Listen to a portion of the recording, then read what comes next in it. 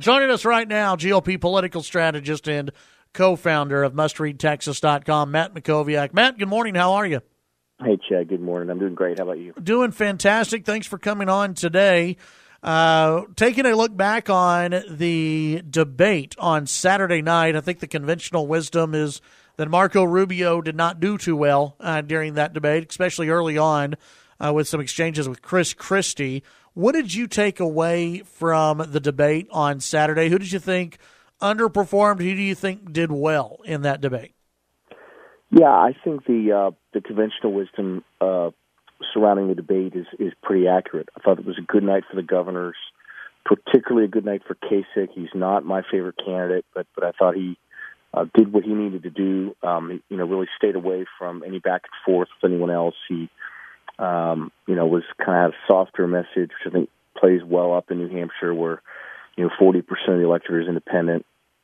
Um, look, I think in the final analysis, it was a bad night for Rubio because the only thing people were talking about was the the two or three minutes that he had with Christie, where he he just seemed to not respond to what Christie was saying, and he kept repeating the same line over and over again. Uh, you know, trying to make the point that Obama knows what he's doing um, which uh, to me, I don't even understand the value of the point. Um, whether he is incompetent or he's knows what he's doing and has achieved a lot for for liberalism, I'm not sure I even understand what the value of making that point is as a Republican. Right. Um, so you know, it was just a kind of a bizarre, um, you know, scene to, to watch. Um, you, know, you have Christie challenging you very publicly um, very sharply, um, you know, you would think that you would sort of choose to defend yourself and respond. And he, you know, he did. He brought up, you know, Christie not going or going back for the snowstorm for 36 hours and then leaving, and um, you know, brought up the credit downgrades and stuff in New Jersey. And so he did. He did sort of shoot back at him, but he didn't defend himself. Right. And it was really striking to see that. And so.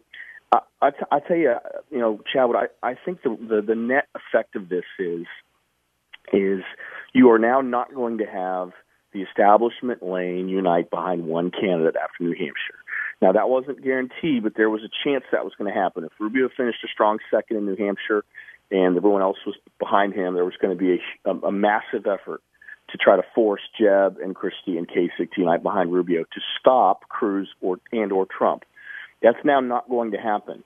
Um, number one, I think a lot of people now think Rubio may not may be weaker than than than than pre- previously thought. But number two, Rubio may not finish a strong second now. This really stopped his momentum in New Hampshire.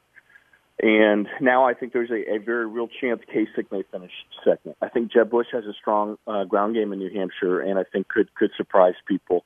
And Christie, to me, I still think he's he's you know built very well for New Hampshire. The numbers haven't shown that, but he spent a lot of time up there. So this remains a very, very fluid race. But I think that, that Rubio had a bad night, and he had a bad night at the worst possible moment because he had huge momentum coming out of Iowa, and it was all kind of all all there for the taking for him, and he just didn't do what he had to do um, at you know on the big stage. Well, and it seemed as though Rubio was inching up in the polls. I, I don't know if he necessarily would have caught Donald Trump in New Hampshire, but he was inching closer. And every poll that I've seen since the debate, and, and they haven't all been done since you know Saturday, obviously, but since that poll uh, or since that debate, uh, it, it, seems as though the second place is becoming even more cluttered. If if Marco Rubio doesn't finish in second, and, and as you said, a strong second place, if he finishes in third or fourth place, which I is a possibility according to some of the polls uh, that I've seen. What does that mean for his campaign? Is that is it over? I don't think it's over. He has, you know, good resources. Um, he has, you know, a good organization in South Carolina.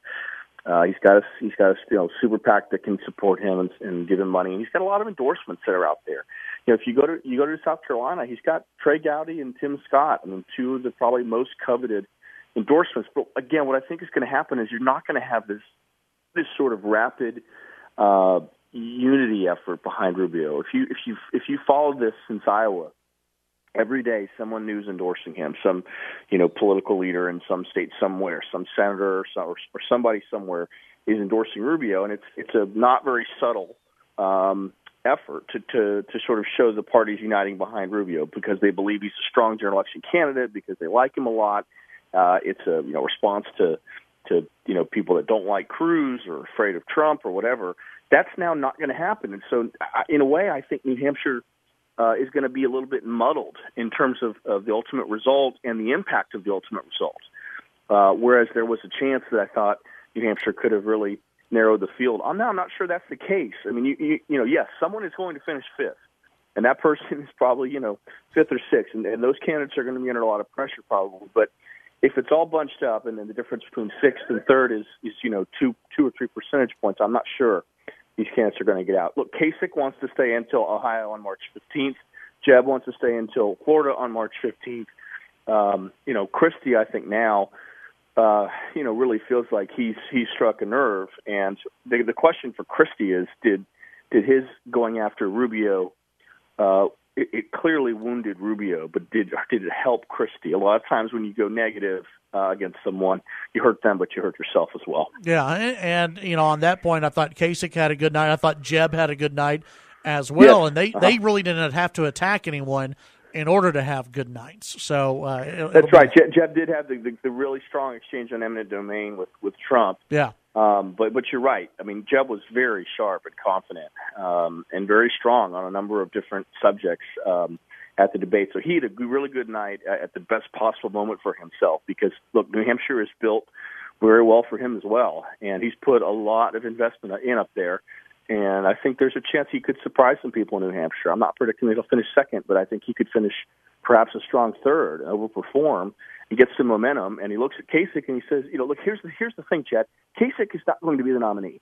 Yeah. I mean, if he somehow were to win New Hampshire or something like that, uh, perhaps there's going to be an effort to unite behind him.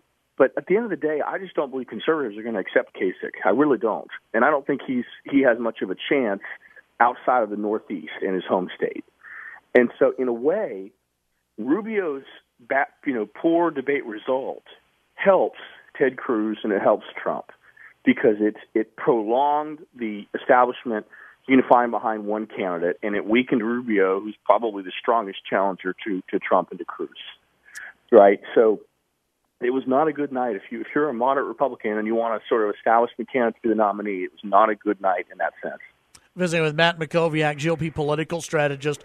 Uh, let's take a look at the Democrats. Obviously, Bernie's going to win New Hampshire, but new national polls show that nationally, uh, Hillary and Bernie Sanders are getting closer and closer as far as the polls go. What's going on with the Democrats?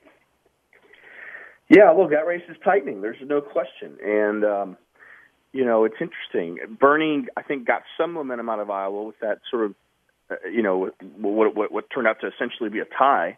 Um, but boy, if he had, it, first of all, there's a chance he probably won Iowa yeah. from a uh, from a raw vote uh, standpoint. Uh, but he he didn't get the full bump out of it that you would have. It was kind of like Santorum uh, four years ago. But yeah, look, I, the the Democratic race is going to go on for a while. Um, you know, I, I, I saw Jeff Zeleny of CNN said said yesterday uh, yesterday that uh, you can't even clinch get the number of delegates you need to clinch the Democratic side until May. So there's a chance that race goes on for a while. Now the big question is going to be if Bernie wins New Hampshire, can he win in the South? Can he can he go down to you know South Carolina and and you know improve his performance among minority groups, particularly African Americans, because typically or traditionally Hillary's done well with with with Hispanics and African Americans.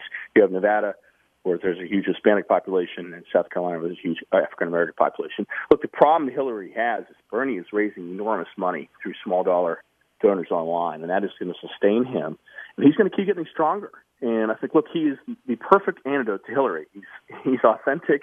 He has a real message. Um, there's not a lot of political calculation there. And if you're a Democrat or you're a liberal, you like his pure message. Um, and so I think he is a real problem for her. At the end of the day, I still think she's the nominee, but he, he's going to make this, this this Democratic primary longer and more expensive uh, than Hillary ever wanted it to be. Matt Mackowiak, what can people find on mustreadtexas.com this morning? Yeah, there's a, an interesting story um, that CNN has on a, a new super PAC supporting Ted Cruz and sort of few, the, the the donors that are funding it and the operatives that are involved in it.